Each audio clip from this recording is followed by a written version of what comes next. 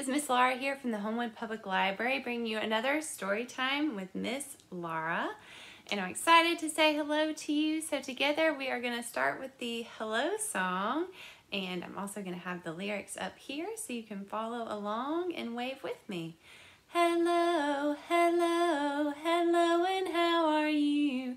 I'm fine, I'm fine, and I hope that you are too. It's good to say hello to you guys, and I'm very excited to share with you today. Um, my daughter Penelope got an exclusive interview with our friend Scaredy Squirrel earlier this week, and in just a moment I'm going to share that with you all. So it'll be good to check in with Scaredy Squirrel and Penelope. Hi, so me and Scaredy Squirrel are here today, and we both have our mask on, and we're six feet apart. And I'm going to ask Squirrel some questions. So let's get started. I'm ready! How are you holding up, Scary Squirrel?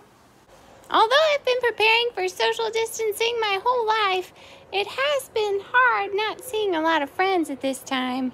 So yeah, I've definitely been getting a lot of acorns and making sure that, you know, I check in on all of my friends and family and see how they're doing, and they check in on me too, which is so nice.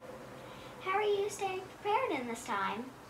Oh, I'm glad you asked that. I always like to be prepared. That's why I have my mask on and my itty bitty gloves, and I always carry some hand sanitizer with me when I can, and that's helping me keep myself and others safe.